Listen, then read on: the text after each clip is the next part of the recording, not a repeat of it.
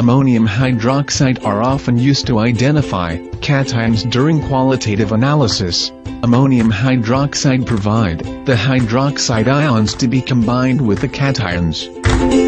Cations can be identified by observing the color of the precipitate formed. Whether or not the precipitate dissolves in excess ammonium hydroxide. In aqueous solution, cations can be classified into colorless cation aqueous solution, and colored cation aqueous solution. For colorless cation aqueous, with ammonium hydroxide's aqueous. If no changes in the solution, ammonium or calcium ions may be present. If white precipitate not soluble, in excess ammonium hydroxide solution, magnesium or aluminum, or lead ions may be present. If white precipitate soluble in excess ammonium solution, zinc ion may be present.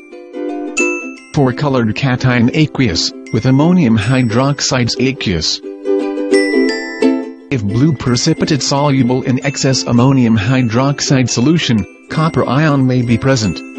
If green precipitate not soluble in excess ammonium hydroxide solution, ferrum 2 ion may be present. If brown precipitate not soluble in excess ammonium hydroxide solution, ferrum 3 ion may be present.